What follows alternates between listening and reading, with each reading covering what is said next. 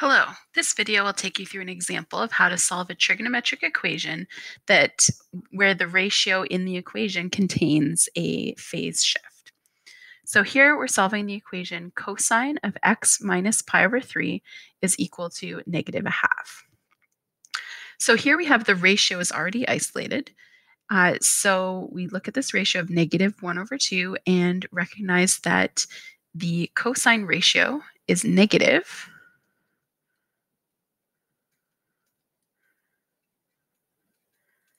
in quadrants two and three.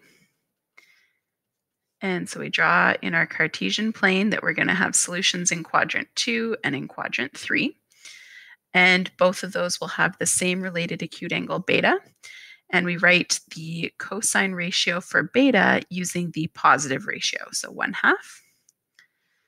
On my diagram, I'm going to label my two solutions. So the first one in quadrant 2 is going to be not just x1, but I'm going to write it as x1 minus pi over 3 because that's the entire angle here. So I want to make sure I'm considering that minus pi over 3 part when I come up with my solution for x1, similar to our example with double angles. Similarly, the solution in quadrant 3, I'm going to label that one as x2 minus pi over 3. So we first solve for beta, and I recognize that one half comes from our special triangles. And so from our special triangles, we know the cosine ratio of pi over 3 would be equal to 1 half. So beta must be pi over 3. And from our diagram, putting beta back into our diagram here, that gives us that theta, sorry, x2, what am I doing? x1 minus pi over 3, so that's our first angle there, is going to be equal to pi minus beta, so pi minus pi over 3. And to get our solution for x1, we just need to solve this equation for x1. So I add pi over 3 to both sides to get pi minus pi over 3 and then plus pi over 3 which means that x1 is equal to pi. I do a similar thing to solve for x2. So we have that x2 minus pi over 3 is going to be equal to, where this orange arc is here, pi plus beta. So pi plus pi over 3. Again, I add pi over 3 to both sides to get x2 equals pi plus pi over 3 plus another pi over 3. And so x2 would then be equal to 5 pi over 3. Okay.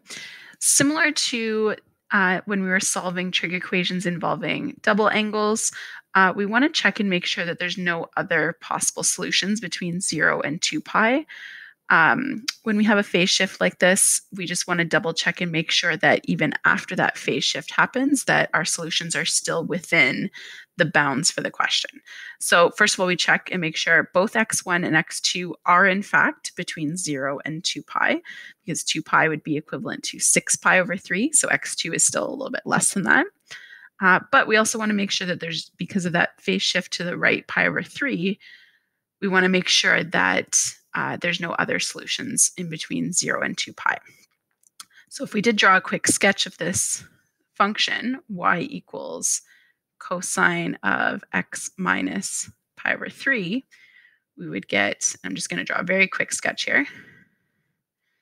We would get a graph that looks something like this, and you can check this by graphing this on your own. Uh, where about here is 2 pi, and half of that is pi, so that's about here. And so we want for when that function is equal to negative a half, that would solve this equation. So if I draw in where negative a half is, it's approximately here. And we see that the two solutions that we found were at pi and 5 pi over 3. And because this curve hasn't yet come back down here, uh, bef um, before we go to the left of 0, uh, there are, aren't any other solutions. But it's possible that just because of that shift, we may have had another solution that was close to zero here. um, but in this case we don't. Um, but you do want to check that graph just to make sure that you haven't missed any other possible solutions.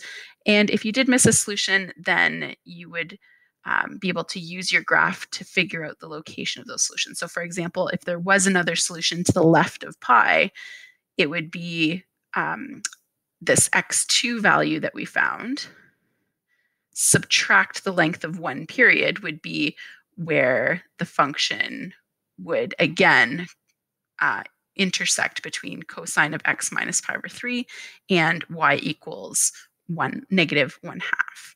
Um, so you could use the length of a period to try and figure out other solutions if you knew that you had other solutions. In this case, we only have the two solutions to this equation, which are x1 is pi and x2 is 5 pi over 3.